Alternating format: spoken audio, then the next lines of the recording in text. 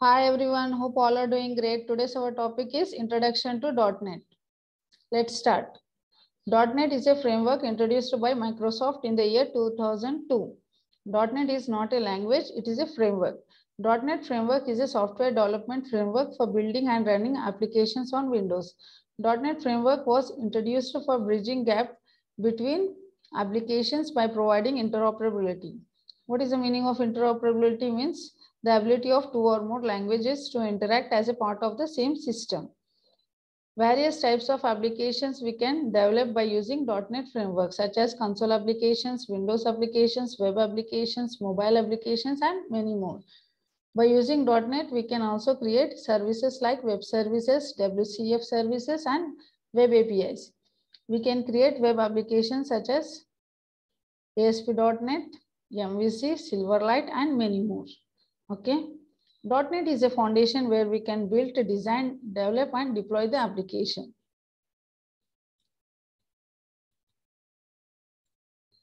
Okay, next. .NET is a framework consists of more than 300 plus language characteristics has been formed as a single group. We can use the features of one language into another language. We can create our own customized libraries as well. .NET Framework is a wonderful tool provided by the Microsoft. .NET Framework includes a library and runtime environment. Okay, .NET Framework includes class libraries and runtime environment. What is runtime environment? CLR is a runtime environment, which is provided by the .NET Framework. FCL. FCL stands for Framework Class Library. FCL provides user interface, database connectivity, cryptography, web development, and many more. What is the meaning of cryptography? It is an art of writing or solving the codes. Major components of .NET. CLR, CTS. Okay, major components of .NET. CLR, CTS, CLS, CLS, and MSIL JIT compiler. Okay, these are the major components of .NET. Now let us start with CLR. CLR stands for Common Language Runtime. CLR performs the following operations. Debugging, exception handling, security, version control. What is debugging? CLR sends the respective compiler to compile the respective code. Okay, exception handling. It is responsible for handling the runtime errors. Security. Security plays an immense role in any kind of application development. Okay. Version support. The application developed in lower version can be upgraded automatically to higher version. Okay, in develop in .NET, the applications developed in lower version can be upgraded automatically to higher version. Then we'll check out with CTS.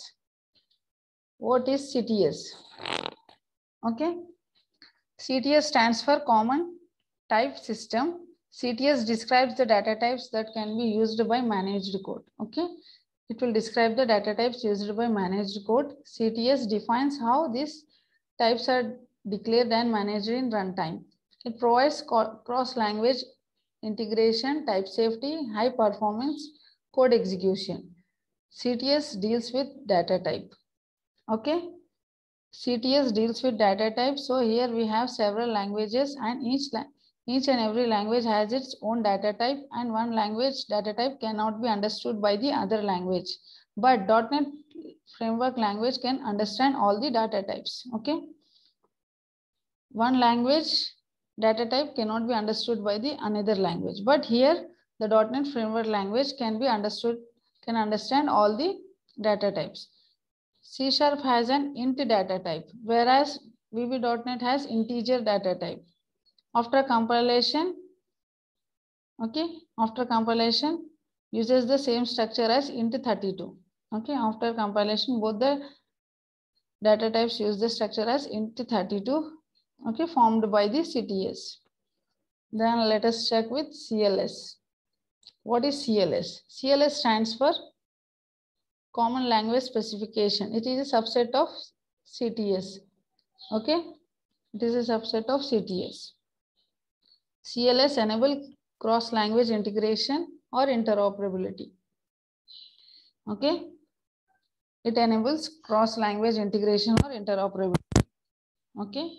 It defines a set of rules and restrictions that every language must follow which runs under the .NET framework. Okay, CLS will define a set of rules and restrictions that every language must follow which runs under the .NET framework.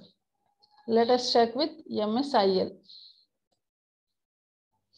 MSIL stands for Microsoft Intermediate Language. When we compile any .NET application at first, instead of converting it into native code or machine code, first it will be converted into MSIL. Okay. Then it will become language neutral. MSIL is also known as CIL, Common Intermediate Language, or it is also known as Managed Code or Intermediate Language.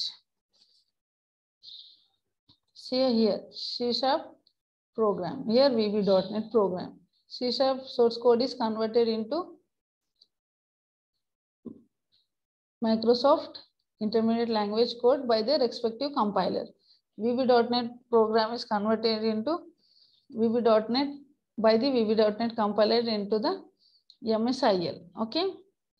What is MSIL? Microsoft Intermediate Language. Okay. It is also known as managed code, language neutral. The code can run on any .NET framework language. Okay. MSIL code can run on any .NET framework language. Then next we'll check with JIT compiler. JIT.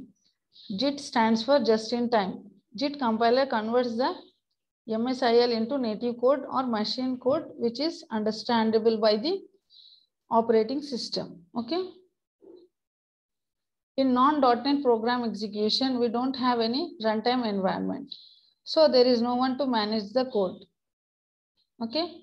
There, then here the program is responsible to manage the code in non-.NET program execution. Okay, native code is also known as unmanaged code. Okay, intermediate language code is known as managed code. Okay. I hope you understood this concept, friends. Thanks for watching the video. Please do like, share, and subscribe for more updates. Thank you. Have a great day.